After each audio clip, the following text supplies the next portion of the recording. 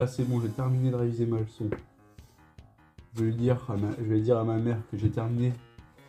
Et comme ça, elle viendra pas me faire réviser. Elle ne verra que du feu. Maman, j'ai terminé de réviser. Tu en es sûr hein, que je revienne pas? Laisse-moi un petit peu plus de temps en fait, s'il te plaît. Je laisse encore une vingtaine de minutes, hein, mais tu m'as bien compris, apprends bien. C'est clair? Oula, oui maman, tout de suite, je vais apprendre.